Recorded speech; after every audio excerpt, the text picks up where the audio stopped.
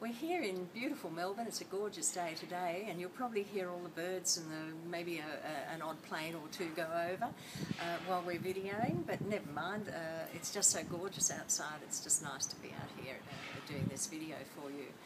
One of the things that I'd like to talk about is the irony, one of the great ironies of life, and that is that men need silence and women need to talk no surprising in that really, but if you go to, where you can see the best example of this is if you go to a meeting and everybody's talking and they really, you know, it's a couple of hours that, and then they walk outside, the women will say, hey, let's go for a coffee, and they'll start talking all about the meeting.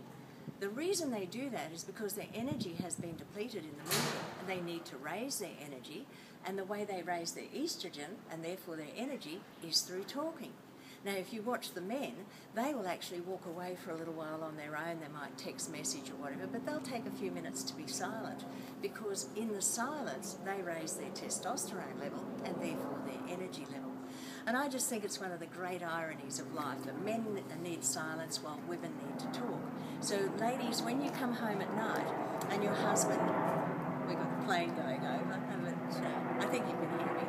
The when you come home at night, husband will sit in front of the TV and he will relax while you're walking around and doing things. Now, when you say to him, What are you thinking? he will say to you, Nothing. And you go, How can you think of nothing? You can't possibly think of nothing.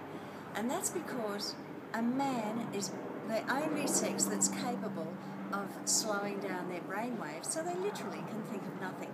Women, uh, their minds are always working. They can never, ever switch it off. So the next time he tells you he's thinking of nothing, you can believe him. For more information like this, go to my website www.mangotiger.com.au and I hope you heard over the plane going past. Thank you.